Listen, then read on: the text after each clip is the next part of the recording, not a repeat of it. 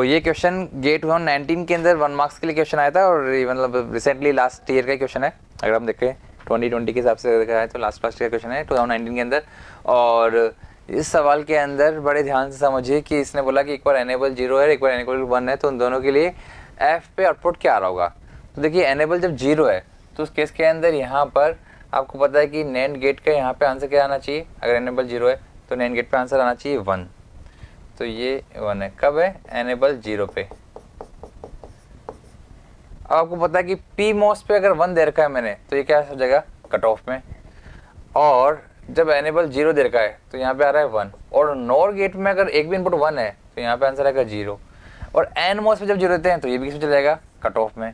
तो एन मोस पे ज़ीरो दे रखा है तो ये भी कट ऑफ़ में। तो एफ़ पे क्या मिलेगा आपको? हाई इम्पिडेंस जिसे हम बोलते हैं हाई इम्पिडेंस कुछ भी आउटपुट नहीं निकाल पा रहा है, ये ना आउटपुट ऊपर से निकाल पा रहा है, ना ग्राउंड से निकाल पा रहा है। इसे हम बोलते हैं हाई इम्पिडेंस हाई जेड बोल सकते हो उसको।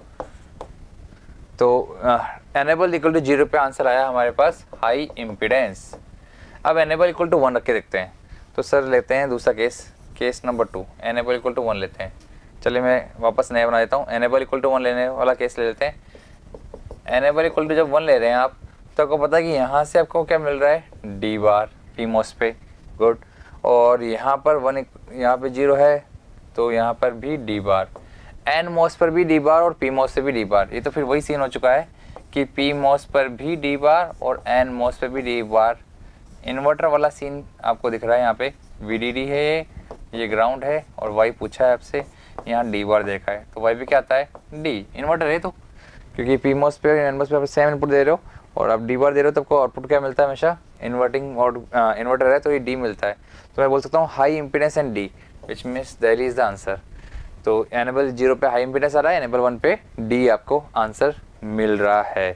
तो ये आपका आंसर होगा डी दिल्ली तो इस क्वेश्चन का आंसर है Delhi thank you If you really like the video, please hit the like button, share the video, subscribe to our YouTube channel and press the bell icon for the latest updates. Thank you.